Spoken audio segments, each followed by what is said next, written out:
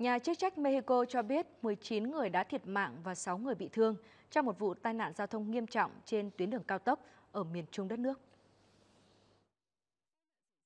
Tai nạn xảy ra khi chiếc xe buýt chở 25 hành khách xuất phát từ thành phố Tepic thuộc bang Nayarit ở miền Tây Trung Bộ của Mexico đến thành phố Juarez của bang Chihuahua đã va chạm với chiếc rơ móc chở ngô tuột khỏi xe đầu kéo khi đang di chuyển. Sau cú va chạm, xe buýt bị lật sang phải và rơi xuống khe núi. Lái xe đầu kéo đã rời khỏi hiện trường ngay sau đó. Nhận được thông tin, lực lượng chức năng đã có mặt tại hiện trường và tìm thấy 6 người bị thương còn sống sót. Hiện các đơn vị liên quan đang điều tra nguyên nhân vụ việc, truy tìm lái xe đầu kéo, đồng thời xác minh danh tính người thiệt mạng cũng như những người bị thương để liên hệ và hỗ trợ gia đình các nạn nhân. Tai nạn giao thông là một trong những nguyên nhân chính gây tử vong tại Mexico.